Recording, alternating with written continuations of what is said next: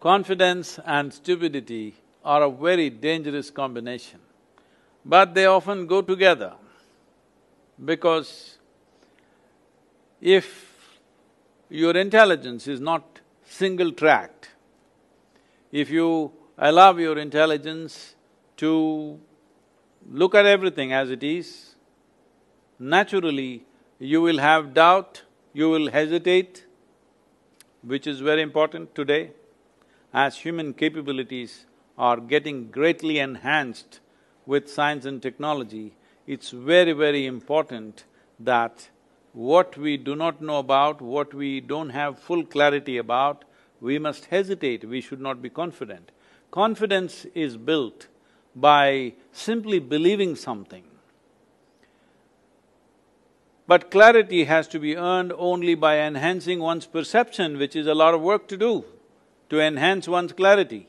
But confidence can be just built with uh, something that you believe in. You believe it's going to happen, you believe this is the best thing to do, you believe God is with you, you believe you're working for the heaven. So suddenly you have confidence, this does not mean you have clarity.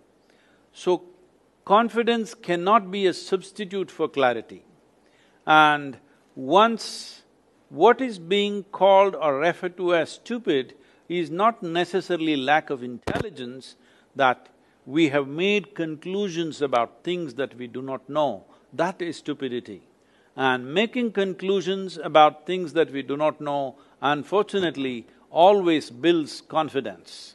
So this confidence without clarity can be disastrous and one cannot replace the ability to see clearly with confidence. Clarity is what the humanity needs, not confidence. I know all the inspirational speakers in the world are telling you to be confident. No, if you have clarity, you will not need confidence. What you can see very clearly, you do not need confidence.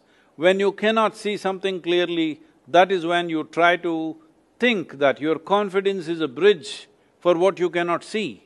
Well, sometimes it may work. It is like you have some slogan, and you believe your stars are good, you were born in this star, so you cannot die today, and you just run across a busy highway.